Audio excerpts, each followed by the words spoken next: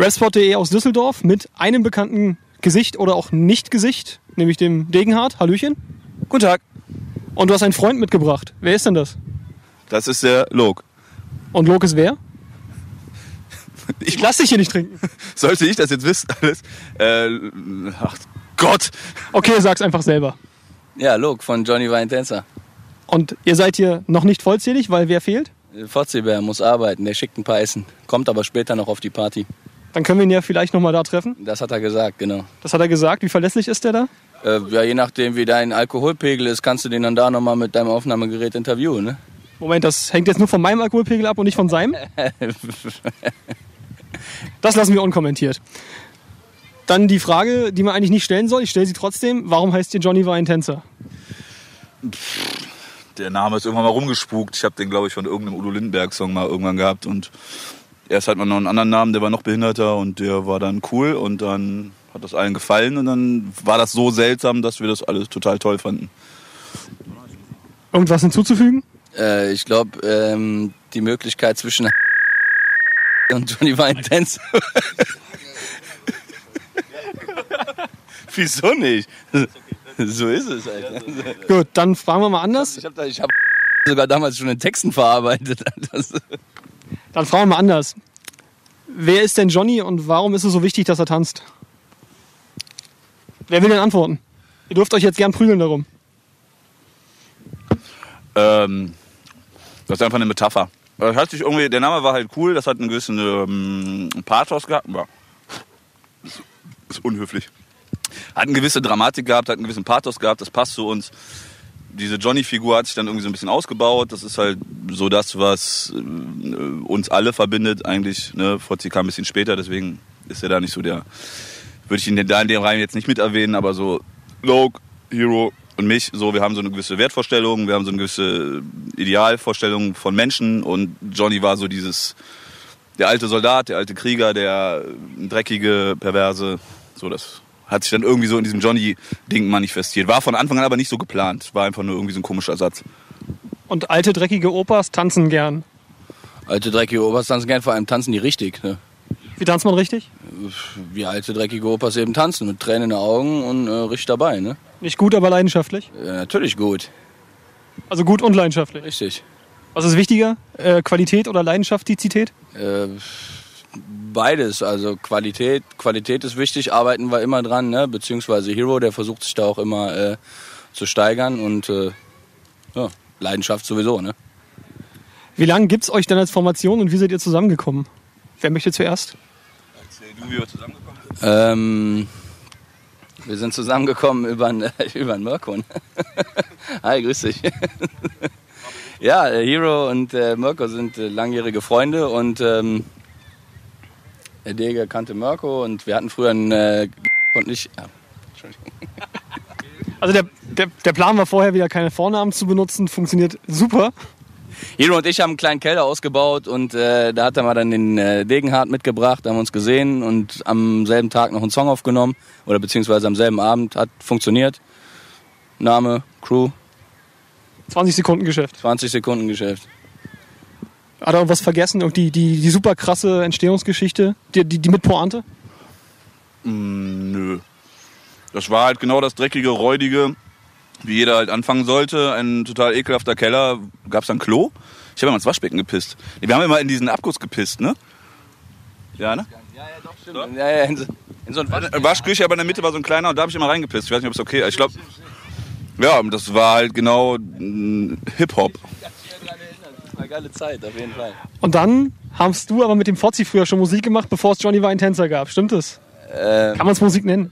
ja, Musik, ja, kannst schon Musik nennen, natürlich. Aber äh, ja, mit dem Forzi habe ich immer zusammen gewohnt, ne? also gegenüber. Äh, und ähm, sind immer Nachbarn gewesen und haben dann über alte Achtspurmaschinen dann Songs aufgenommen auf irgendwelche Ami-Beats. So, aber äh, jetzt was richtiges Produziertes kam dann eben auch erst durch den Hero, ne? Und jetzt wird's ja, also jetzt macht ihr es ja alle ernst und äh, habt das neue Album gebracht, euer zweites Crew-Album Johnny Jugend. Was verbirgt sich denn hinter der Johnny Jugend? Vor allem, weil euer Logo ja eigentlich ein alter Mann ist. Scheiße. ich habe auf die Tau- Taube geachtet. Äh, ja. Der alte Mann war das erste, das ist die Basic. Wir sind die alten Männer. Johnny Jugend war das nächste. Boah, ihr müsst jetzt ja nicht so übelst viel Sinn rein interpretieren. Das ist so, wir haben sehr viel Support gekriegt. Wir haben ein sehr großes Umfeld, was uns mag, glaube ich. Oh, krass. Und ähm, dann ist das so entstanden aus der Idee. Ne? Das ist so ein bisschen angelehnt natürlich an äh, Turbo Negro. So und nicht an die HJ, oder? Nee. Und ähm, das war. Alter! Krass. Oh, oh leck mich. Ähm, Willst du so lange weiterreden, während er mit der Wespe kämpft? Ja, Johnny Jung, der kam vom Dege die Idee, so ja klar, wir haben dann immer Feedback bekommen, äh, waren dann meist ältere, älteres Klientel so und äh, hat sich dann eben alles auch so ein bisschen äh, dahin entwickelt, dass jüngere Leute dann auch interessiert an unserer Mucke waren. Ähm, ja, und dann kam der Dege mit Johnny Jugend und äh, man kennt ja die Bewegung Turbo Jugend, ne, von, äh, wie der schon gesagt hat, von Turbo Negro. Ja, dann hat man das einfach eben auf äh, Johnny projiziert, ne, und dann gemacht. Dann kam. Es ist keine große Weltveränderung geplant auf jeden Fall. Was? Noch, ist noch keine was? Es ist keine große Weltveränderung geplant, aber es ist schön zu sehen, dass auch viele Leute jetzt langsam mitziehen. sind. Und auch die Artikel bestellen und super. Wie sah denn das Feedback außerdem aus? Außer wir kaufen eure Musik und schreiben euch, wie toll das ist. Gab es da was, darüber- was darüber hinausging? Ihr habt zum Beispiel ein Video gedreht mit Fans in Düsseldorf. Was, äh, wie war da die Resonanz? Die Resonanz vom Video ja sieht man ja leider nicht so gut, ne? Aber äh, es hat einfach Spaß gemacht. Äh, Wir haben am selben Tag haben einen Post rausgehauen. Heute Abend Süßland Shop, Videodreh. Dann stand irgendwann ein Mob etwas weiter links äh, von, dem, von dem Treffpunkt und äh, ich wusste erst gar nicht, dass die alle nur gekommen sind äh, wegen dem Video und ich dachte, das wären irgendwelche Leute, aber ja. Dann waren es dann doch ein paar, paar mehr und äh, ja, die wussten dann auch nicht, wo sie schlafen sollen. habe ich die mit zu mir genommen und dann, ja, nee, war ein guter Abend. Sehr brüderlich auf jeden Fall das Ganze. Dann hat der Degen eine schöne Zeile. Äh, Johnny Jugend, unsere Liebe ist ein strenges Gesetz. Warum ist sie denn streng? Ich denke, sie ist sehr offen. Ähm, ja, wie so ähnlich wie bei dem Johnny-Ding, ne? Also weil unsere Wertvorstellungen, unsere Personenkriterien schon streng sind. So, ist halt, wir haben eine straffe Vorstellung, sind sonst äh, halt etwas lockerer, aber da haben wir halt sehr straffe oder sehr direkte und klare äh, Vorstellungen und deswegen ist unsere Liebe streng, Entschuldigung. Ja. Entschuldigung. Okay, sehr unprofessionell hier zu meiner Rechten. Wir sind ja gleich noch auf einer. Äh Na gut, dann äh, reden wir einfach weiter mit dir. Jetzt guckst du auf dein Handy. Ich hab's extra rausgemacht. Will noch jemand Handys reinwerfen vielleicht? Irgendwas? Okay, gut. So, dann also kam ja noch der, der Fotzibär zu euch. Wenn man sich eure Charaktere so anguckt, der rohe, männliche, harte Mann, der künstlerische mit dem weinenden Einhorn im Nacken. Fotzibär übernimmt da welche Rolle? komplett Psycho. Also, ja, so Fozzi ist nochmal ganz, das ist out of space. Das ist ein ganz eigene, ähm, ja, irgendwo dazwischen so. Ne? Er ist ein überintelligenter, ich werde wahnsinnig. Und ähm, ganz eigene Person. Ist von uns beiden die Steigerung oder irgendwo die Mitte oder weiß der Deibel, was es ist. Und ähm, kann es halt nicht beschreiben. Ne? Also der Kannst du ihn denn beschreiben? Ihr wohnt ja relativ um die Ecke beieinander. Ja, Fozzi. Äh, Fozzi kommt ja eigentlich eher so auch aus der Metal-Ecke, aber äh, hat dann irgendwann auch Rap für sich entdeckt und äh, ja, wie gesagt, äh, intelligenter Typ und hat dann das ganze Junkie-Tum irgendwie dann mal auf äh, Rap-Texte gepackt und äh, ja. Ja, wir saufen durch, wir saufen viel, wir trinken viel, zu viel, aber es ist alles gut. Also man lebt und kommt aus. Also Kann man sagen, dass Fozzi den amüsanteren Gegenpol zu euch bildet? So, eher so, wo die Sprüche ein bisschen mehr auf Witz bedacht sind? Ja, auf jeden Fall, weil er es auch gut kann. Ne? Also, wie gesagt, also es ist auch alles echt. Ne? Also, wenn du den Lifestyle, sage ich jetzt einfach mal, so kennst, dann äh, ja. Aber gut, bei uns allen ist alles echt. Ne? Äh, wie läuft das dann ab, wenn ihr drei euch zusammen im Studio trefft, wenn so unterschiedliche Charaktere versuchen, einen Song zusammen zu machen? Ja, das ist Johnny Tänzer. Ne? Das, äh, Gut, das war, das war sehr aussagekräftig. Hör auf, an den Füßen zu spielen. Ähm, okay. Äh, wie wir das machen, pff, wir machen es einfach. Also hat kein System, es hat kein Treffen uns, ne? Bier trinken und schreiben. So, also wir haben, zeig mir mal einen Song. Also auf dem Album sind natürlich ein bisschen Konstrukte drauf oder ein bisschen System dahinter, so, aber meistens ist es halt drauf los und machen und Spaß haben. So. Wow. Sind, auch, ähm, sind auch äh, teilweise Songs, äh, die schon äh, einen Bestand hatten von mir und von Dege, wo der Fotzi dann später noch hinzukam und gesagt, ja geil, passt, wenn ich noch einen Part da hinzufüge oder noch äh, mitmache oder was und ist dann auch rund geworden. Also ist nicht immer so, dass man sich direkt im Studio trifft. Also ist manchmal irgendwo im Hintergrund alles passiert ein bisschen. Wenn man sich. So. Mach's nochmal, ich bin hängen geblieben. Alles klar. Machst du, einmal darfst du noch machen. Jetzt machst du? Los, und los. Wenn man eure beiden Crew-Alben miteinander vergleicht, seid ihr eine Crew oder eine Band oder eine, eine Gruppe? Wie nennt man das bei euch? Eine Crew. Okay, dann eure Bande. Ähm, wenn man eure beiden Bandenalben miteinander vergleicht, auf dem ersten, auf dem nur ihr beide wart, auf dem dritten, auf dem Fozzi mit dabei ist, erweckt, äh, drängt sich mir der Eindruck auf, dass mein Zettel wegfliegt und dass ihr auf dem ersten Album versucht habt, in der Mitte euch beide zu treffen, aufeinander zuzugehen und auf dem zweiten Album habt ihr versucht, euch als Künstler und Persönlichkeiten mehr einzeln zu positionieren. Liege ich da richtig? Ja, genau, richtig. nee, genau so haben wir es halt gemacht. Also wir haben halt beim ersten, Alter, ähm, im ersten haben wir halt versucht, so ein bisschen die Mitte zu treffen, haben so geguckt, ja, war so das erste, die erste Berührungspunkt, Heavy Petting. Und ähm, dann haben wir so gemerkt, wir müssen uns nicht anpassen, jeder ist sein eigener, seine eigene Charaktere. So, Loke hat das gemacht, was er am besten kann, nämlich Technik abgehen, flexen. Und ähm, ich habe das gemacht, was ich kann. Mehr auf die Texte achten, ein bisschen ruhiger werden, dass man die Texte versteht, äh, mein Style machen, so. Also, ne, alles Absicht und so war es geplant und wir finden es total super. Was hinzuzufügen? Ja, nö, eigentlich nicht. genau so ist es. Gut, dann fragen wir dich doch lieber gleich zu deiner Stimmbandoperation. Du wurdest ja an den Stimmbändern operiert. Warum denn? Und wann? Und wieso? Und überhaupt? Ähm, ja, warum? Äh, ja, was ich dann letztendlich erfahren habe, ist, dass sowas äh, durch eine Stimmbandüberlastung kommt. Und ähm, ja, es gab eben eine Zeit, wo der Hero und ich ähm, Jetzt mach endlich das Handy aus. aus, ziemlich oft im Studio waren und da auch an einem Tag immer ziemlich viel aufgenommen haben und äh, war abends noch eine Party. Ich bin heiser geworden, war bei Pipapo, halbes Jahr heiser rumgelaufen und äh, nach einem halben Jahr Ärzte suchen hat sich dann eben festgestellt, dass ich einen 3 mm Stimmenlippenpolyp auf der linken Seite sitzen hatte, der dann äh, jetzt letzten Freitag operativ unter Vollnarkose entfernt worden ist und äh, ist alles wieder da. Ja, unter, bei Johnny Tease Me hat man ja gehört, wie sich's anhört, wenn sowas eben zustande kommt. So. Kannst du den Stimmbänder-Test nochmal machen? Ich bin so froh, dass das wieder da ist. Danke, das wird mein neuer Klingelton. Ja, du bist ja nicht der erste Rapper mit einer Stimmband-OP, ne? Prinz Pi, Casper, Bas Sultan Hengst haben wir auch alle schon mal was gehabt. Ach Quatsch. Ja, aber ich, ich, ich weiß nicht, ob es der Polyp war, aber auf jeden Fall wurden die alle mal in Stimmbändern operiert. Ja, Weil eine Entzündung kannst du ja nicht operieren. Also wenn ein Fremdkörper entsteht so und wie gesagt, es ist nicht durch Rauchen oder durch Saufen, was ich erfahren habe, äh, ne, dann schließen die Stimmbänder eben nicht mehr, weil da eben etwas sitzt und äh, ja krass. Ja gut, okay, die gehen auch äh, ein bisschen mehr live ab. So, ne? Da ist das auch, äh, ja. Bei Prinz Pi ist die Stimme danach ein bisschen dunkler geworden. Hast du das bei dir auch beobachtet? Ja, weil wenn du diese äh, Heiserkeit hast oder diesen, äh, diese Stimmbandscheiße hast, dann sprichst du automatisch mit einer Kopfstimme. Das ist sehr anstrengend. Und da bin ich jetzt auch noch. Normalerweise hast du ja hier den Resonanzkörper und äh, sprichst ja mit dem ganzen Körper eigentlich. Und dieses mit dem Kopf sprechen muss ich mir jetzt auch erst wieder abgewöhnen. Das ist ein bisschen dunkler. Normalerweise bin ich ein bisschen aktiver und rede auch lauter und dann hört sich das so an. Und ja, jetzt diese Kopfstimme ist eben so. Okay.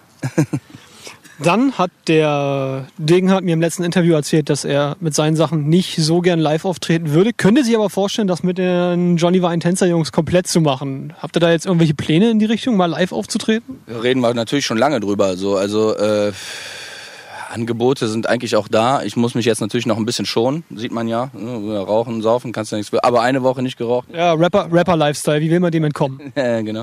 Ähm, nö, haben wir vor. Wir gucken auf jeden Fall, dass es jetzt die nächste Zeit anläuft. So. Okay, und äh, wie soll das dann irgendwie funktionieren? Also ich meine, er hat ja gesagt, er ist wahrscheinlich ein nervliches Wrack und kennt seine Texte nicht und ist sowieso nicht zu gebrauchen auf der Bühne. Musst du ihm dann, wie, wie denkst du ihm unter die Arme zu greifen? Ich muss dem Dege unter die Arme greifen, er muss mir unter die Arme greifen. Ich meine, da sind ja teilweise auch äh, Textpassagen, wo keine Zeit zu atmen bleibt, wo dann auf jeden Fall es immer besser ist, wenn du jemanden hast, der dich backt. So, ne? Also um zu atmen und das Ganze auch irgendwie klar und deutlich mit Power über- rüberzubringen. So. Ist egal, ob du langsam rappst oder ob du schnell rappst. So. Also Becken ist immer gut, also das kriegen wir schon hin. So, noch was hinzuzufügen? Habe ich was Falsches gesagt? Ja, Loke ist jetzt sehr nett. Also grundlegend bin ich immer halt der, der Spasti, der halt sagt, nee, ich schaff das nicht und ich bin doof und ich habe Angst. Genau. Und ich stehe dann halt nur so äh, daneben. Ja, mhm. Schauen, schauen wir mal. Arbeiten wir dran. Ich meine, man muss sich ja auch selber. Ich stand schon ein paar Mal auf der Bühne, hab da ein paar Dinger gemacht, aber äh, muss jetzt langsam mal richtig was passieren. Aber da müssen wir uns dann eben auch äh, in den Proberaum stellen oder ins Studio stellen und äh, unsere zwei Live-Mikrofone auch mal nehmen und ein bisschen proben, was das angeht. So, ja, machen wir schon. Möchtest du etwas dazu sagen? Sollen wir das Thema übergehen, stillschweigend? Ja, übergehen wir. Okay, dann übergehen wir das und fragen einfach, wie das direkt weitergeht, wenn ihr jetzt was live bringen möchtet. Klammern wir das mal aus. Wie soll es dann weitergehen? Du willst ein Lost Tapes noch bringen, habe ich das richtig Auf verstanden? jeden Fall, ja. Das ist auch äh, schon fast fertig. Und seit Ewigkeiten geplant. Und seit Ewigkeiten irgendwie geplant, ja. Das sind dann alte Songs, also es ist nichts Mixtape-mäßiges auf irgendwelche Ami-Beats oder so. Das wird alles auch auf äh, Hero-Beats sein und äh, Klamotten aus Jahren, wie wir uns eben kennen, von 99 bis 2008, 9, sage ich jetzt mal, von irgendwelchen Studio-Sessions, die ich im Hero eben durchgemacht habe. Und äh, Sachen, die nie rauskamen, packen wir jetzt komplett auf den Tape, 90 Minuten. Und das erscheint richtig auf einer Kassette. Wir haben schon 20 Kassetten, äh, die hat uns ein äh, guter Freund von mir auch hand äh, bemalt, alle. Und äh, die gehen dann raus, sind Einzelstücke und dementsprechend gucken wir aber auch, dass wir das dann noch auf äh, CD. Äh, Was, was los? Der, der hat sein, sein Hipback weggeschmissen. Mach Authentic Street. Authentic Street. Okay, reicht denn jetzt auch. Immer, wieso, wieso ist bei Interviews mit dir oder mit euch immer der Hintergrund interessanter? Ihr habt keine Lust mehr. ist denn interessanter, du? Na, jetzt? Na, Na, sag. sag, es ruhig, sag es ruhig. Ich fand, er war grenzwertig so. Und sein, sein Hipback aus voller Wucht hinzuschleudern, ist ein Move, Alter. Total im Businesspark, sein Hipback aus vollem Move hinzuschleudern, ist ein Move. mein letztes Skeletor-Shirt habe ich letztens einem äh, Obdachlosen gegeben. Mit dem habe ich geteilt. Der hat mir ein Kickhemd gegeben für 2 Euro. Ich habe dir mein letztes Skeletor gegeben. So, Lost Tapes, ne? Und was sonst noch? Willst du ein Album bringen? Äh, also was jetzt als nächstes ansteht, Ein Solo-Album ist auch in Planung, habe ich gehört. von uns allen. Von uns allen, aber ich möchte jetzt über deins reden. Ähm, ja, wir haben gestern noch drüber geredet, äh, wie wir das äh, Ganze irgendwie ein bisschen cooler verpacken, dass die Crew nicht zu kurz kommt. Okay. Aber darüber, wie gesagt, haben wir gestern erst gesprochen und äh, ist eine tolle Idee. Versuchen wir umzusetzen und deshalb kann ich jetzt mehr als das nicht sagen. Darüber reden wir also erst, wenn es soweit ist. Genau. Alles klar. Und du wolltest ein Album mit Gossen Boss noch machen oder eine EP oder irgendwas? Ja, mach mal so parallel, so wie er halt Zeit hat und das schafft und neben seinem großspurigen Leben halt. Ja. Aber was machst du noch? Ja, wie Lok gesagt hat, wir haben jetzt gestern im Großkonferenzsaal vom Bütchen beschlossen, dass wir was total super Neues machen. Was ganz eigen wird und sehr groß und alles auf einen Haufen und eine Riesenüberraschung. Oha, das wird also wieder auch ein großes Enthüllungsvideo? Das weiß ich nicht. Das Okay. ganze Projekt wird eine Enthüllung. Warten wir es mal ab. So, wir haben es dann endlich geschafft. Bis auf eine Sache noch. Nämlich soll ich dich fragen, du sagst oft zu Hause, Paul Simon ist ein Hurensohn. Warum ist Paul Simon ein Hurensohn? Scheiße, was war denn das nochmal? Das war auf zu Hause und ich glaube, weiß Paul. Simon ist der von Simon Garfunkel, oder? Das weiß ich, aber wieso ist Paul Simon? Das, hat- das, das hatte eine Theorie, dass, dass er halt. Boah, frag mich, schlag mich tot. Äh, Ich schreib's bei Facebook. Alles klar. Dann haben wir es doch endlich geschafft. Wollt ihr noch was zum Abschluss sagen? Alles Gute, ne? Ich bin ein bisschen dankbar, dass es so kurz ist. Hast du noch einen Monolog? Ich überlege jetzt wegen dem Paul Simon-Ding nochmal. Das war, weil, weil, weil, weil er, irgend, er der hat irgendwas gesagt, was mir extrem nicht gefallen hat. So. Ähm, ich glaube, es war in dem Video, wo der den Glastisch hat. Also in dem letzten mit. Ja, ist egal. Ist, ist, ist, ist. Das ist ja schon der zweite Versuch, uns zu interviewen. Warum hat denn das beim ersten Mal nicht geklappt? Frage an dich. Frage an euch, warum habt ihr eigentlich nur Scheiße gelabert letztes Mal? Ja, ja, geht. Also Kneipentheorie. Man hat ein paar Bier getrunken ne, und dann redet man eben ein bisschen. Ne? Also ich war eigentlich der Meinung, dass das relativ in Ordnung war. fand ich eigentlich auch. Irgendwelche Statements? Das war von der Atmo super. Das Resultat war nicht so super. Also technisch nicht verwertbar. Genau. Gut, dann haben wir es mal wieder, die böse Technik. Wir sind eigentlich alle ganz super. Du hast einen neuen Klingelton. Ich habe einen neuen Klingelton, nehme ich dein Stimmgeräusch. Darfst du es nochmal machen? Ich bin unglaublich glücklich, werde glücklich sterben. Das war's für heute. Tschüss.